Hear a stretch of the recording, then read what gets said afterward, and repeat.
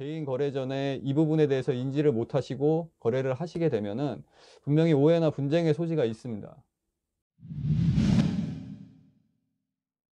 안녕하세요. 스니커다입니다.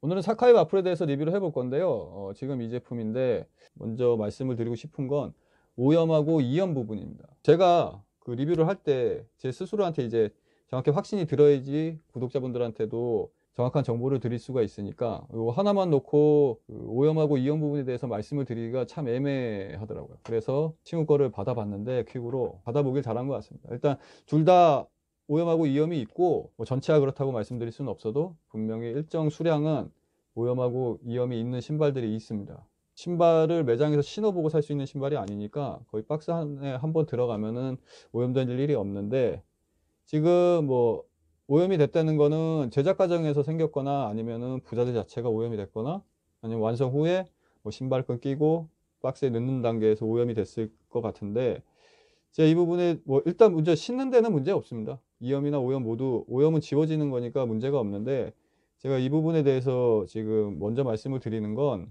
지금 이 영상을 보시는 구독자분들 중에는 분명히 이제 리세 생각하시는 분들이 계실 텐데 이 신발이 오염이나 이염이 있을 수 있다는 거는 반드시 인지하시고 거래를 하시는 게 좋습니다. 구매자 입장에서는 하다 보니까 뭐 오염이 좀 돼 있다. 흙 같은 게 묻어 있는 느낌이다.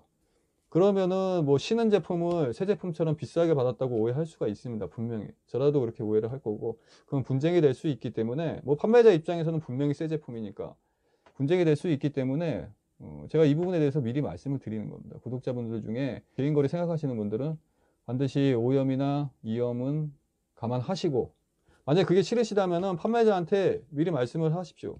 오염된 데 있느냐, 이염된 데 있느냐 확인하시고 구매를 하시는 게 좋을 것 같습니다.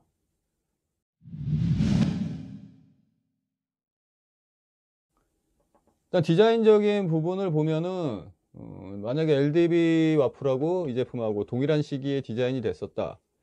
그걸 가정한다고 보면은 저는 개인적으로 LDB 와플을 먼저 판매한 거는 굉장히 좋은 수였다고 생각을 합니다. 만약에 동일한 시기에 제품이 디자인이 됐는데 이 제품을 먼저 판매를 했었다고 하면은 그 LDB 와플 같은 경우는 저는 폭망했을 거라고. 제 기준에서는 그 기존의 와플 같은 경우가 만약에 스케치라면은 얘는 이제 물감까지 다 칠한 완성형 제품 같습니다.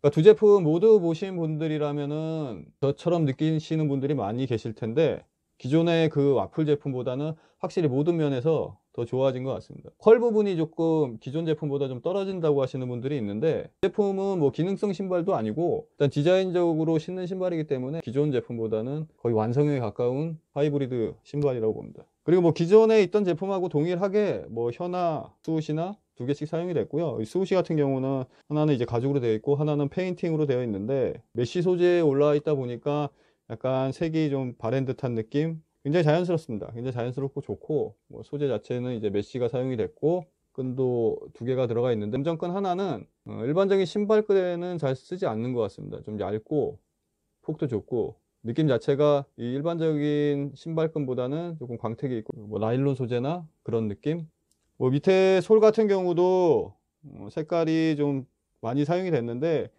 전체적으로 흰색이 사용된 게 아니고요. 미색하고 흰색하고 섞여 있는 상태입니다. 일단 뭐 전체적으로 어 그리고 굽 높이가 한 4.6에서 4.7 정도 되는 것 같은데 좀 상당히 높은 편이고 그리고 이 앞 그 디자인적인 부분에서 이게 지금 중앙이라고 봤을 때 위로 올라갈수록 이 바깥쪽으로 치우쳐져 있습니다. 약간 대각선으로 되어 있고 이 부분은 이제 반대쪽으로 안쪽으로 약간 틀어져 있습니다. 전체적으로 보면은 이렇게 약간 비스듬히 되어 있다고 보시면 됩니다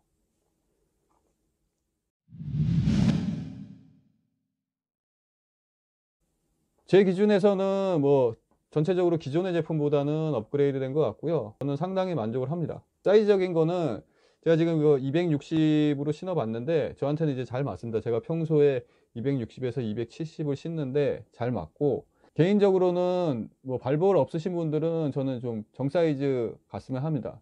발볼이 넓으신 분들 같은 경우는 사이즈 up 해야 되겠지만은 음, 그렇지 않은 분들이라면은 저는 굳이 사이즈 up해서 뭐 왕발 느낌 나게 신으실 필요는 없을 것 같습니다. 정 사이즈 신으셔도 충분히 발은 커버됩니다. 신발은.